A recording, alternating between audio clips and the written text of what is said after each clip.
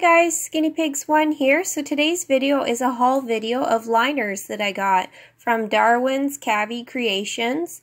They are located on Etsy in the United States.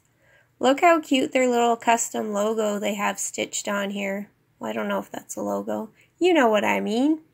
So they had messaged me that they found more of this awesome koala fleece that I absolutely love.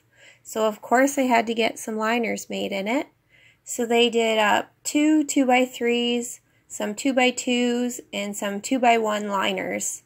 So I also had it matched up with some mermaid scales, some mermaids, and of course bumblebees, all my favorite prints.